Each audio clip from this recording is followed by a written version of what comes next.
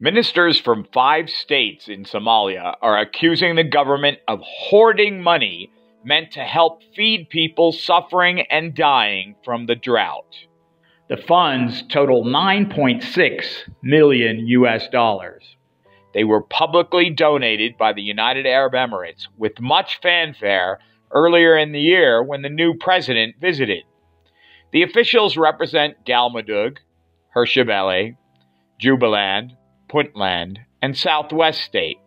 They released a statement calling on President Hassan Sheikh Mohamud to release the funds immediately. The Somali leader got on a plane to the U.S. on Wednesday, where he will attend the United Nations General Assembly. Tweets critical of the federal government have rained down on social media.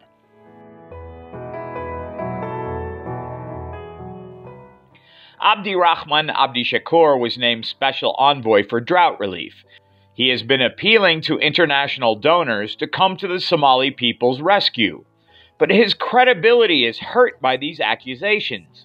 The government needs to take immediate action. It either needs to show that the funds are already in action, and whether they have bought water, food, transport, whatever, or they need to immediately release these funds and show a well thought out plan for their use. How can the president go to New York and ask for additional funds from the United Nations or donor countries if there is money that is not being used to help the suffering?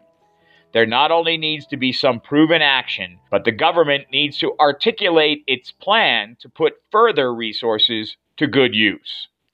IDP camps for those escaping the drought, emergency food rations, money to buy food, all are needed. So is a plan to prevent such situations in the future. But now the new government needs to show how it will save lives.